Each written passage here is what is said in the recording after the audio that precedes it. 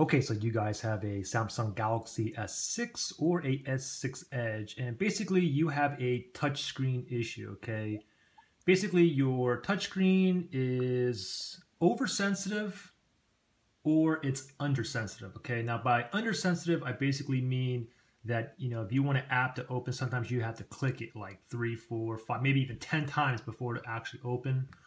Uh, oversensitivity, basically means as you're like scrolling through your phone, like apps will magically open up, or if you're browsing, links will open up.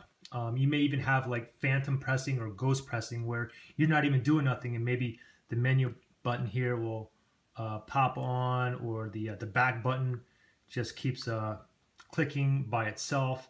So I'm going to show you guys uh, what you can do to possibly get your phone up and running right now. Okay.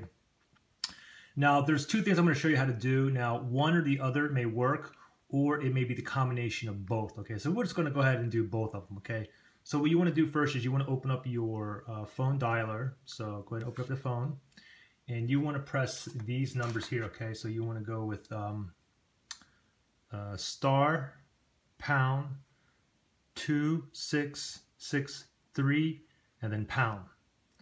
Okay, and this will pop up here.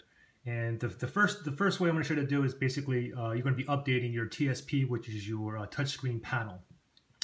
Now, for some of you guys, this code is not going to work, okay, depending on what um, phone you have. I know if you have, like, uh, if your carriers from, like, T-Mobile, I think Verizon, uh, AT&T, then basically this, um, this pound or this um, star pound 2663 and then pound will work, okay?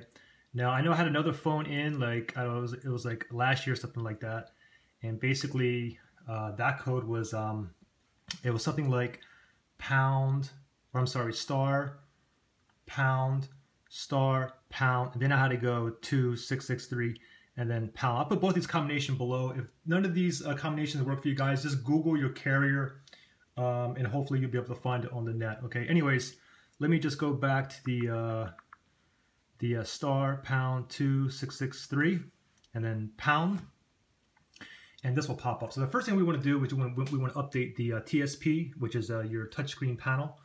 It's TSP FW update. So I'm simply going to click on that.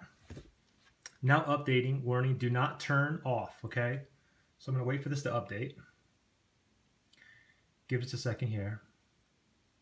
Okay, there we go. Update complete. It passed. Now, the second thing you want to do is you want to go into your settings. So go ahead and scroll down and then go into your, uh, click on the gear icon right up here.